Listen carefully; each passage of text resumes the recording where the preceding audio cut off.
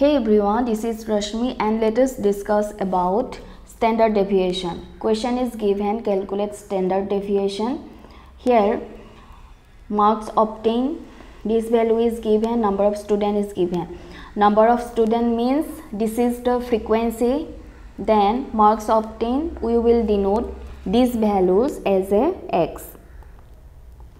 Then number of students, it is the frequency value. Frequency is denoted by F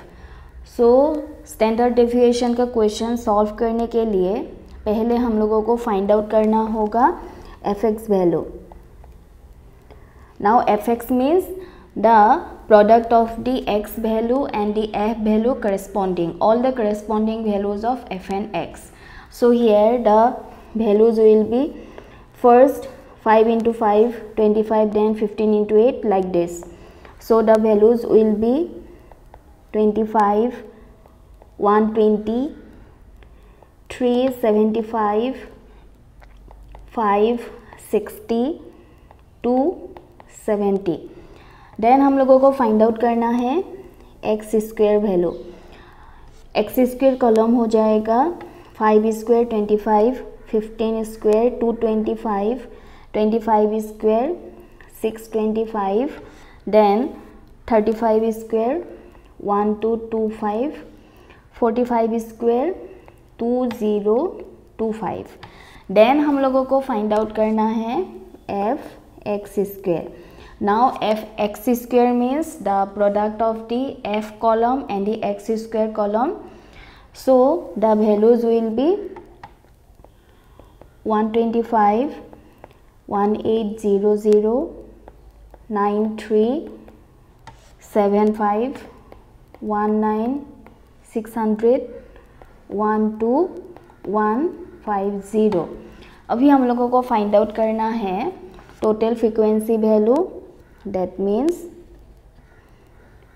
total frequency always denoted by capital N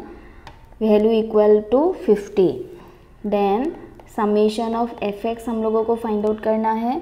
summation F X का value है one three five zero then हम लोगों को find out करना है summation F X square summation F X square का value है forty three thousand zero five zero now we can use the formula for standard deviation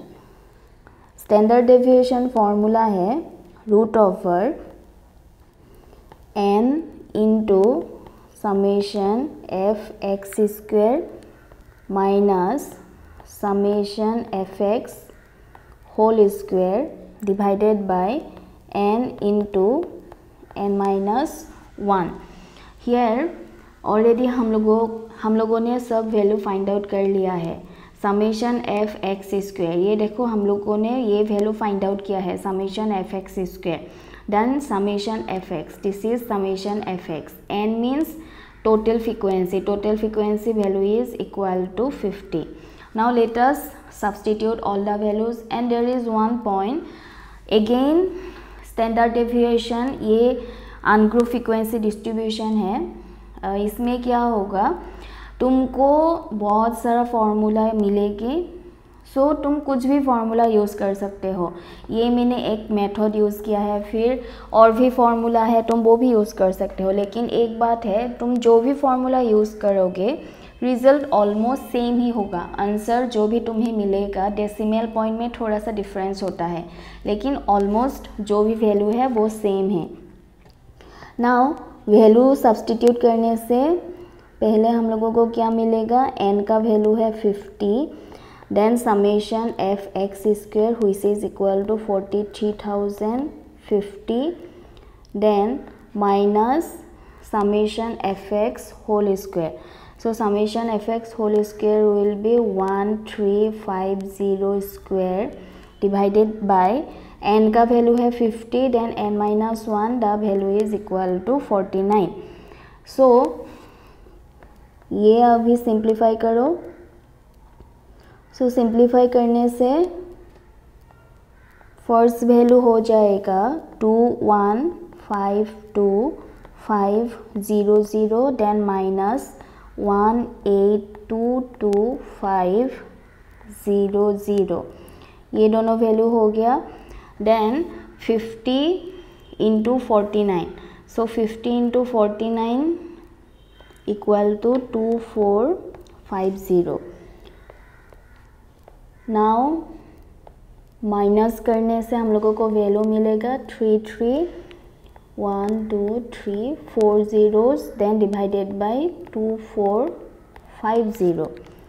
so ये है square root of one thirty four point sixty nine and ये values है eleven point sixty one so standard deviation का value हुआ है eleven point six one so so, इसी तरह से डिपेंडिंग ऑन दिस फॉर्मूला हम लोग summation F X find out करेंगे summation F X square find out करेंगे देन